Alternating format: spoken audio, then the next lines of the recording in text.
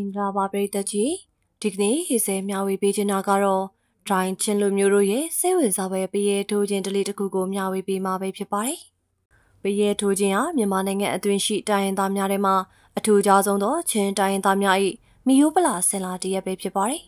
အမျိုးသမီးများ၏မျက်နှာတွင်သာစေမင်းကြောင့်ခေါ်ပရဲခေါ်ပမဲထိုးခံရခြင်းဖြစ်ပါတယ်ဘရင်များမိဖုရားများတင်မြောက်တော့ကောက်ခြင်းကြောင့်ဆိုသောအချက်လက်များကလည်းတမိုင်းတွင်အတိအလင်းတော့မရှိသေးပါဘူး မျက်နှာပေါ်တွင်ဆေးမညောင်ထိုးခြင်းကအာရှတိုက်အာဖရိကလက်တင်အမေရိကကမ္ဘာနိုင်ငံအတော်များများတွင်ရှိတော်လဲအမျိုးသမီးများ၏မျက်နှာများတွင်သာတည်တံ့ရွေးချယ်ပြီးဆေးမညောင်ထိုးသောအလိအထားသည် အလွန်ရှားပါလာပါသည်ပရဲထိုးသောဒေတာများကမူပမဲထိုးရဲပါထိုးရဲလို့ခေါ်ဆိုကြပါသည်မြန်မာများကထိုးခွင်းရှိမှယောက်ျားပိသားသည်ဟုယုံကြည်ကြသည့်ဤသူချင်းအမျိုးသမီးများကလည်းပရဲရှိမှမိန်းမပိသားသည်ဟုသဘောထားကြပါသည်ချင်းပြည်နယ်အချို့ဒေသများတွင် မျက်နာတစ်ပြင်းလုံးအပြည့်မဟုတ်သောဗကြောင်နှင့်ဗကြားများလည်းရှိတယ်လို့သိရပါတယ်။ချင်းတိုင်းသားများသည်ဘာသာစကားအလွန်ကွဲပြားလွန်၍အိမ်အောင်ပြုရန်ဇနီးမယားရွေးချယ်ရန်အတွက်သတ်မှတ်ခြင်းလားမျိုးနွယ်စုလိုက်ပြီးစေမင်းကြောင်ပုံစံများပြောင်းလဲနေတတ်ပါတယ်။မျိုးနွယ်စုတစ်မျိုးတည်းကတော့ပုံစံချင်းကတရွာလုံးအတူတူပဲဖြစ်ပါတယ်။တချိန်ကလမ်းမဆက်သွယ်ခက်ခဲ၍လူသူအယောက်ပေါက်နေသောတောတောင်များတွင်တောင်သူလောက်ကိုင်းခြင်း ထင်ကုန်ရေခတ်ခြင်းများဖြင့်အသက်မွေးဝမ်းကြောင်းပြုလုပ်စဉ်ကာလမျိုး၌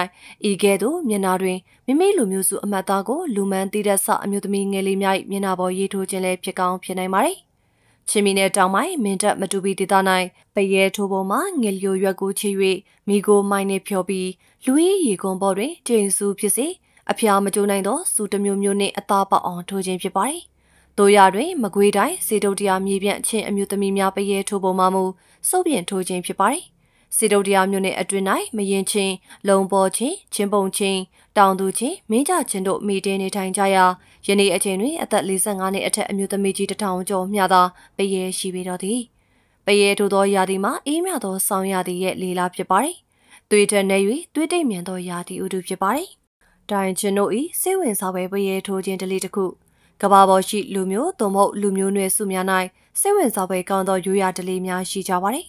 ၎င်းတို့အတဲတိုင်းကျွန်တို့၏မျက်နာပရဲထိုးခြင်းတလေးသည်လည်းစိတ်ဝင်စားပဲတလေးတစ်ခုဖြစ်ပါတယ်။ပရဲထိုးသည့်ပုံစံများမှာမတူညီကြတော့လေအာဖရိကတရုတ်နှင့်အိန္ဒိယစသည့်နိုင်ငံများရှိတချို့လူမျိုးနွယ်စုများတွင်ပရဲထိုးတလေးများရှိခဲ့ကြောင်းသိရပါတယ်။မြန်မာနိုင်ငံရှိနာဂချင်းဗမာနှင့်ရှမ်းတို့တွင်လည်းပရဲထိုးခြင်းတလေးရှိခဲ့ပါတယ်။ ရှမ်းနှင့်ဗမာတို့တွင် ကိုကနာအစိပ်ပိုင်းများတွင်ထိုးထားကြသည်ကိုတွေ့ရှိရပြီးနာဂလူမျိုးတချို့တွင်မူအမျိုးသားအမျိုးသမီးမခွဲခြားသည့်အပြင်မျက်နှာတွင်သောမကခန္ဓာကိုယ်တွင်လည်းထိုးလိရှိကြကြောင်းလေ့လာသိရှိနိုင်ပါတယ်။ချင်းလူမျိုးများတွင်အမျိုးသမီးများကသာမျက်နှာမှာပရဲထိုးလိရှိပါတယ်။ချင်းမီနယ်တောင်ပိုင်းနှင့်အယူချင်းမျိုးနွယ်စုတချို့တွင်တွေ့နိုင်ပါတယ်။ချင်းမျိုးနွယ်စုများမှာစုံတူလိုင်းတူဒိုင်မွန်ခန်အုပ်ဘူးငါရရင်တူသို့မဟုတ်ရင်တူဒ ချင်းပုံတို့တွင်မျက်နှာပရဲထိုးလိရှိကြပါတယ်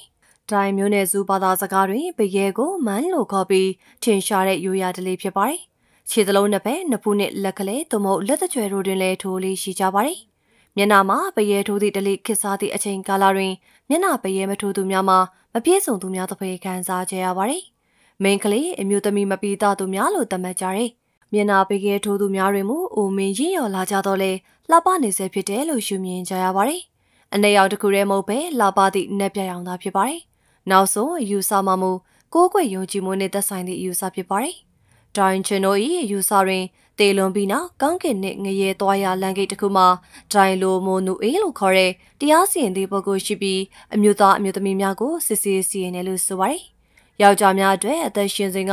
သူတို့၏ပွဲလန်းသဖြင့်နှစ်နောက်တပ်ပွဲနှင့်မိမိတို့ရရှိသည့်နာမည်ကြီးတောကောင်တရိษံအကောင်အမျိုးအစားအကောင်ရည်အတွက်တိုးပြင်းသာတိုင်းတာပြီးအမျိုးသမီးများကိုမူသူတို့မျက်နှာမှာပိရဲထိုးမထိုးဖြင်းသာစစ်ဆေးရတယ်လို့ယူဆကြပါတယ်။ထိုချက်များမှာတခုမှဖြစ်နိုင်ခြင်းမရှိလို့ညင်းဆိုရန်ခက်ခဲသလိုတေးကြမှန်ကန်သည့်အကြောင်းပြချက်များဖြစ်တယ်လို့ပြောဆိုရန်လည်းခက်ခဲပါတယ်။ တေးကြသည့်အချက်တစ်ချက်မှာလူမျိုးနွယ်စုတစ်ခု၏အရေးကြီးလာသည့်ဒလေတစ်ခုလိုကျင့်သုံးလာခဲ့ကြခြင်းမှာညင်းဆို၍မရနိုင်ပါ။ဒရိုင်ချင်းမျိုးနွယ်စု၏တင်ရှားသည့်သင်္ကေတလက္ခဏာနှင့်ရိုးရာဒလေပဲဖြစ်ပါတယ်။မျက်နာပရဲထိုးရတွင်စူးပင်တစ်မျိုးမှရသည့်စူသို့မဟုတ်ကျိန်ပင်မှရသည့်ကျိန်စုဒိုင်လူလျောဟုခေါ်ကြသည့်နေပြရောင်ကိုထွက်စေတဲ့တောနယ်ပင်ရွက်သို့မဟုတ်လျော်လို့ခေါ်ပါတယ်အဝတ်စားများကိုအပြာနဲ့ရောင်တင်ရတွင် အတုံပြူတဲ့တောင်ရ၌စိုက်လေးရှိတဲ့အပင်တစ်မျိုးမှအရွက်ကိုအရင်ညစ်ပြီးရောထက်ရန်စုံကုန်းလို့ခေါ်တဲ့မိဘမှရတဲ့ချက်ခိုးမုံစာသည်တို့ကိုစုံကြပါတယ်။ထို့ပြင်မျက်နာကိုစူးဖြင့်ဖောက်ရတဲ့ထွက်လာတဲ့သွေးများကိုတုံရန်အတွက်ဒိုင်လိုဘောလို့ခေါ်တဲ့အပင်တစ်မျိုး၏အရွက်နုများကိုလည်းအသုံးပြုကြပါတယ်။မိသားစုမှာမိန်းကလေးတဦးသည်အသက်12နှစ်မှ15နှစ်ကြားရှိနေပြီးမျက်နှာပရဲထိုးရန်အချိန်ရောက်လာပါကမိဘများကပရဲထိုးကျွမ်းကျင်သူထံသွားပြီးဆွေးနွေးညီနိုင်ရပါတယ်။ ပရဲထိုးကျွမ်းကျင်သူမှာအမျိုးသမီးတဦးသို့မဟုတ်တဦးတက်ပိုပြီးရှိတတ်ပါတယ်။မိန်းကလေးသည်ပရဲထိုးရမည့်အသက်အရွယ်ထဲကြီးနေသည့်အသက်ဖြစ်နေပါကလည်းအနာကျရန်ခက်ခဲသည့်အတွက်ပရဲထိုးသူများကကင်တွယ်ဆောင်ရွက်ပေးရန်ညှင်းဆိုတတ်ကြပါတယ်။လက်ခါကိုနေရာဒေသအလိုက်ခင်မင်မှုအပေါ်မူတည်၍ဆက်မောင်ရိုးရပတိရိုးရဆောင်စာတီတို့ကစပြီးနနောက်တိပေးကြရကြောင်းသိရပါတယ်။ ထို့သောမျက်နှာပရဲထိုးရတွင်အန်နီရဲ့ကင်းစွာလှုပ်ဆောင်နိုင်ရနေထိုးထားပြီးနောက်လှပစွာပြန်လဲကောင်းမွန်နိုင်အတွေ့ဒိုင်ချင်းလိုစကားအရာပိုက်ဘောလို့ခေါ်တဲ့အနာဂတ်ကိုဟော်ဂိန်ထုတ်တွက်ချက်ပေးလိရှိသည့်ပုံကိုယ်ထံသို့ဥစော်တော်ရောက်မေးမြန်းချရပါတယ်။ထိုပုံကိုမှာရိုးရာထုံးစံအတိုင်းဆောင်ရွက်ပြီးမြည်တို့မြည်ဖို့မြည်သည့်ချိန်တွင်ပြုလုပ်ပါကအစဉ်ပြေကောင်းမွန်ပြီဖြစ်ကြောင်းတွက်ချက်ပေးရပါတယ်။ထို့သောဆောင်ရွက်ရာတွင်ကိုယ်ွယ်ယုံကြည်မှုအရာပရဲထိုးမိမင်္ဂလိအတွက်ရည်ရွယ်လျက်ကြောက်ခွေဝက်စားသည့်အိမ်မွေးတရေဆန်ဖြစ်တဲ့ကြောင်း အနာဂတ်ဟောပြောသည့်ပုဂ္ဂိုလ်မှတွက်ချက်ပြီးမှသာရှေ့ကောင်ဖြစ်အသုံးပြုရပါတယ်။ထို့သောပြုလုပ်သူများပြီးမြောက်ပါကအနာဂတ်ဟောကိန်းတွက်ချက်ပေးသူ၏ညွှန်ကြားချက်အတိုင်းလုပ်ငန်းကိုစတင်ဆောင်ရွက်ကြရပါတယ်။မျက်နာပရဲထိုးသည့်လုပ်ငန်းကိုစတင်ကြတော့မည့်အချိန်တွင်ပရဲထိုးမည့်မိန်းကလေးကိုဆွေမျိုးနှိစက်သည့်အတော်အမားတို့ကတိတ်ဆိတ်သည့်အိမ်သို့မဟုတ်ရွာအပြင်တွင်ရှိသည့်အဆောင်တစ်ခုခုသို့ခေါ်ပြီးညအိတ်ကြရပါတယ်။နောက်ရက်တွင်ပရဲထိုးခြင်းလုပ်ငန်းကိုစတင်ကြရတယ် ထို့သောလှုံ့ဆော်စဉ်အတွင်းအခြားသစိမတော်ရောက်စီရန်ထင်သာမြင်သာရှိသည့်နေရာအိမ်အဝင်ဝဘက်ဝရန်တာတွင်တည့်ရွက်စိန်ကိုထားရှိရပါတယ်။ထိုအမတ်သားမှာသစိဧည့်သည်မဝင်ရန်တားမြစ်သည့်အမတ်သားအဖြစ်ဒရိုင်ချင်တို့ကနားလည်ကြရပါတယ်။ပရဲထိုးရတွင်အထက်မှဖော်ပြပြီးဖြစ်သည့်ပစ္စည်းများကိုအသုံးပြုကြတယ်။ကျိန်မင်းသို့မဟုတ်စုပင်တစ်မျိုးမှစုသည်တွေးထွက်လာသည့်အထိမျက်နာမှာအကွက်ဖော်ရန်ဖြစ်ပါတယ်။တိုင်ချင်းလိုရောလိုခေါ်တဲ့အရွက်ကိုအရင်ညစ်ပြီးကြက်ခိုးမုံနဲ့တမအောင်ရောရပါတယ် ထိုရည်ထဲတွင်စူအချောင်းအမြောက်များစွာတို့၏ထိပ်ဖူးကိုစိန်ထားပြီးထိုစိန်ထားသည့်စူများကိုအသုံးပြုချရပါသည်။ပရဲထိုးသည့်အချိန်မှာတရက်မှနှစ်ရက်ထိကြာရပါသည်။တချို့မိန်းကလေးများမှာနာကျင်မှုကိုမခံမရနိုင်ဖြစ်ပြီးထွက်ပြေးလေးရှိရာနေဆက်သည့်မိဘဆွေမျိုးများကအချိန်ပြည့်စောင့်ကြည့်ပေးရပါသည်။ပရဲထိုးပြီးလုပ်ငန်းပြီးဆုံးပြီးနောက်ပရဲထိုးထားသည့်မျက်နှာမှာပုံမှန်အဖြစ်နှစ်ပတ်မှသုံးပတ်အတွင်းပြန်လည်ကောင်းမွန်လေးရှိပါတယ်။ပလဝါမျိုးနဲ့ဖုန်းလောင်ဒေတာဘက်မှာတော့ ပရဲထိုးထားတဲ့ဒိုင်ချင်းအမျိုးသမီးဘဝကိုတွေ့ရှိနိုင်ပါတယ်။ကဘာကြီးသည်တနေ့ပြီးတနေ့တိုးတက်ပြောင်းလဲလာသည့်အလျောက်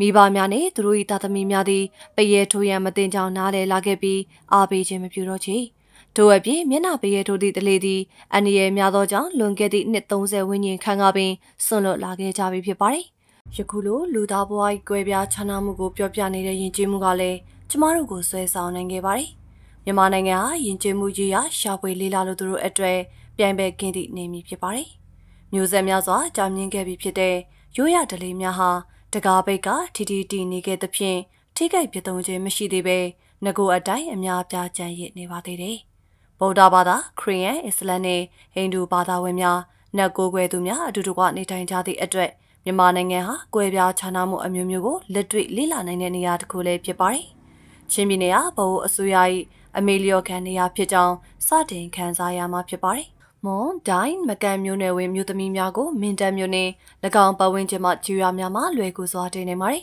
။မွန်မျိုးသမီးများ၏ပါပြင်တွင်အင်္ဂလိပ်စလုံးပြီးပုံများစွာပါဝင်သည့်ပရဲထိုးထားပြီးနဖူးတွင်၎င်းတို့၏ကျူရများတွင်ထွင်ထုကိုကွယ်ထားတဲ့နရုပ်ကိုကိုစားပြုတဲ့ဝိုင်ပုံစံတင်ကြတာထိုးထားကြပါတယ်။နကိုကွယ်မှုထုံးစံပေါ်ယုံကြည်သက်ဝင်ကြတဲ့မွန်မျိုးနယ်စုဝင်များဟာသူတို့ရဲ့ဘဝတတန်တလျှောက်မှာတပတ်ကြာနတ်ပူစော်မှုအခမ်းအနားတစ်ကြိမ်ပြုလုပ်ရတယ်။ နတ်ဝိညာဉ်များခြေနှံ့နေသိစေရနှင့်၎င်းတို့တေလွန်သွားပြီးသည့်အချိန်တွင်၎င်းကောင်းမွန်တဲ့နေရာရရှိစေရန်အတွက်ပြုလုပ်ရခြင်းဖြစ်ပါတယ်။ထိုတစ်ပတ်အတွင်းမှာကြက်တကောင်၊စိတ်တကောင်၊ကျွဲတကောင်နှင့်တော်ရဲမှဖန်ယူလာတဲ့ကျွဲရင်တကောင်ကိုစက်တိုက်ရစ်ပူစော်ရပါတယ်။နတ်ဆရာနဲ့ရွာသူရွာသားများကိုလည်းဖိတ်ခေါ်ပြီးအသားများနဲ့ကျွေးမွေးအခမ်းပါတယ်။မြေကျမ်းမြေမှာကြောက်ပြားများဆယ်ယူပြီးရွာစုံနဲ့သူတို့၏ကိုယ်ပိုင်နှကုံကိုတိဆောက်ကြပါတယ်။ အကယ်၍တစုံတစ်ယောက်ကအဆိုပါရိုးရာပူဇော်မှုကိုသူ့တတန်းတလျှောက်ထက်ကတလဲလဲပြုလုပ်ခဲ့ရင်သူ၏နတ်ကွန်ကိုသူ့နေအိမ်ဘေးတွင်တိဆောက်ရန်အထူးအခွင့်အရေးရရှိမည်ပဲဖြစ်ပါတယ်။နတ်ကိုယ်ွယ်မှုအာကောင်းဆဲဖြစ်တော့လဲမွန်ညိုးနယ်စုအများစုမှာ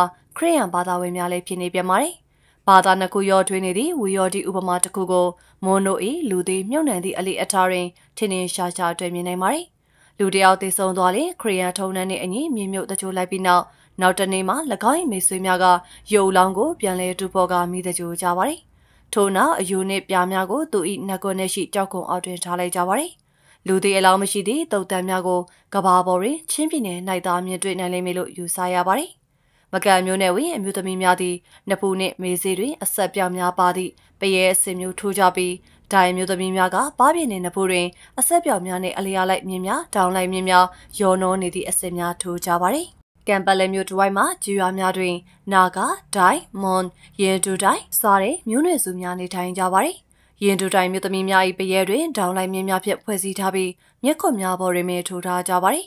နာဂအမျိုးသမီးများ၏ပရဲတွင်ဒေါင်းလိုက်မြင်းများဖြင့်အဆက်ပြောင်များပေါင်းဆက်ထားပါသည်ဒေတာတွင်မှအစင်လာပြောကြသည့်စကားများအရာ၎င်းမျိုးနွယ်စုမျက်နှာများပေါ်တွင်ဆေးမင်းပရဲထိုးသည့်အလေးထားစတင်ပေါ်ပေါက်လာရခြင်းမှာအမျိုးသမီးများအလားပြက်ပြီးရုပ်ဆိုးသွားစေရန်ဖြစ်တယ်လို့သိရပါတယ်။ ဤသို့ပြုလုပ်ခြင်းအပြင်ဗမာဘရင်များ၏တိမ့်ပိုက်ခြင်းမှကင်းလွတ်စေရန်ဖြစ်တယ်လို့လည်းဆိုပါတယ်ဒုတိယဒဏ္ဍာရီတစ်ခုတွင်မူပရဲထိုးခြင်းသည်အခြားမျိုးနွယ်စုများ၏ဖန်ဆီးခြင်းခံရသည့်အချိန်မူလမျိုးနွယ်စုချင်းကွဲပြားမှုကိုခွဲခြားသိနိုင်ရန်အတွက်ဖြစ်တယ်လို့ပြောကြပါသည်။လွန်ခဲ့သောရာစုနှစ်ပေါင်းများစွာကဗမာဘရင်တစ်ချိန်လာရောက်ခဲ့မှုသည့်အတွက်ဤစကားများကအတော်လေးတော့ယုံကြည်ရှိပါသည် မည်သို့ပင်ဖြစ်စေသူတို့သည်အသာပေါ်တွင်စူးကြုံပြင်းစေမင်ထိုးသည့်အချိန်တွင်နာကျင်မှုကိုနိုင်ပေါင်းများစွာရရရင်ရင်ရင်ဆိုင်ခဲ့ရတဲ့အမျိုးသမီးများဖြစ်ကြပါသည်။ဤသို့မျက်နှာပေးရထိုးသည့်တလေးသည်မျိုးနွယ်စုအတွက်အရေးကြီးသည့်အမှတ်သားဖြစ်တဲ့ကဲ့သို့ရိုးရရင်ကျေးမှုအရာတံမိုးထားမျက်နှာခဲ့ကြရသည့်တလေးလေးဖြစ်ခဲ့ပါသည်။ယနေ့ခေတ်တွင်မျက်နှာပေးရထိုးသည့်တလေးမရှိသလောက်နေပါသွားပြီးမျက်နှာပေးရထိုးသည့်အမျိုးသမီးများလည်းရှားပါနေပြီဖြစ်ပါတယ်။ပေးရထိုးခြင်းအားတတိရှိခြင်း မျက်နှာ၏နာကျင်မှုတံကိုခံနိုင်ရရှိမှသာမျက်နှာတွင်ပရဲရှိနေပေမည်။ကြေးရွာတချို့တွင်အသက်ကြီးပိုင်းအဖွားအုံများလောက်တွင်သာကြန့်ရှိနေပြီးထိုပုဂ္ဂိုလ်များမရှိတော့သည့်အချိန်တွင်စိတ်ဝင်စားစရာကောင်းလာသည့်ဒိုင်ချင်းတို့၏မျက်နှာပရဲထိုးခြင်းတလေသည်လုံးဝတိမ်ကိုပျောက်ကွယ်သွားတော့မည့်အခြေအနေသို့ရောက်ရှိနေပြီဖြစ်ပါတယ်။တံပိုးထအပ်သောရိုးရာတလေတစ်ခုရှိနေခဲ့သည်ကို နောင်လာနောက်သားများအားပြောပြရန်တာရကကြံရှိနေခြင်းပါသေးသည်ယခုလိုလာပါတဲ့ချင်းမင်းမပြိုလေးမျက်နှာကိုပရဲခေါ်တဲ့ပင်းငုမြင်တာတူစေမင်းချောင်းကိုသူမိဘကသမီးကညာအရွယ်ရောက်ရင်ထိုးပေးတဲ့အစင်လာချင်းတောင်နံမှာထွန်ကားခဲ့ပူပါတယ်။ပရဲပုံစံအမျိုးမျိုးရှိပြီးဒေတာအလိုက်ဒီဇိုင်းကွဲပြားပါတယ်။တလေထုံနဲ့စင်လာနဲ့ဂုံတိတ်ကအရာအရင်ကချင်းမင်းမပြိုလေးများပရဲထိုးခဲ့ကြတယ်။ ဒါပြင်ပတ်ဆက်နဲ့ဩဇာအာဏာရှိချင်းယောက်ျားရဲ့အတင်းအာရမအငယ်နှောင်းထားမှကိုကြိုတင်ကာကွယ်တဲ့အနေနဲ့သမီးမင်းမပြိုလေးမျက်နှာရုပ်ပြက်စီမဲ့ပရဲကိုမိဘကိုယ်တိုင်ခွင့်ပြုပြီးထိုးခဲ့ကြပါတယ်ချင်းပြည်နယ်မြောက်ပိုင်းတဲ့ဆိုင်တောင်ပိုင်းမှာပရဲထိုးအလေးထပိုထုံငါခဲ့ပါတယ်။ရခိုင်ပြည်နယ်မြောက်ဦးမှာလည်းပရဲထိုးဒလိရှိခဲ့ကြပါတယ်။ပရဲထိုးထားတဲ့ချင်းအမျိုးသမီးကြီးအများစုဟာဗမာစကားမပြောတတ်ခဲ့ကြပါဘူး။ မျိုးသက်တဲ့ချင်းမင်းမပြိုလေးများပရဲမထိုးကြတော့လို့အရွယ်ရမင်းမပြိုပရဲထိုးတဲ့ရှီအောင်အလေးအထားဟာချင်းတောင်နံမှာပျောက်ကွယ်သွားခဲ့ရပြီပဲဖြစ်ပါတယ်။ဟုတ်ကဲ့ပါရှင်။စုံဒီနာဆင်ပေးခဲ့ကြတဲ့အတွက်ထူပဲကျေးဇူးတင်ရှိပါတယ်။ဖီဇယ်တို့ရဲ့ channel လေးကနေပြီးစိတ်ဝင်စားဖွယ်ရာဒူးကြဖြစ်စဉ်တွေနဲ့ဒေသန္တရာဘုဒ္ဓရဝယ်ရာတွေကိုတင်ဆက်ပေးသွားမှာဖြစ်တဲ့အတွက် like and subscribe လုပ်ပြီးအားပေးခဲ့ဖို့တောင်းဆိုလိုက်ပါရစေရှင်။နားဆင်ပြီးခဲ့ကြတဲ့ချစ်တော်ပရိသတ်များအားလုံး ကိုစိတ်နှပြရှင်လန်းချမ်းမြေ့ကြပါသည်ရှင်။